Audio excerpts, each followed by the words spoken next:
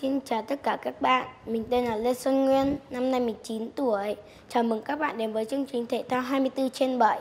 Trong mỗi chúng mình, ai cũng có một môn thể thao mình yêu thích đúng không nào? Như là môn cầu lông, môn bóng đá, môn bóng rổ, môn tennis.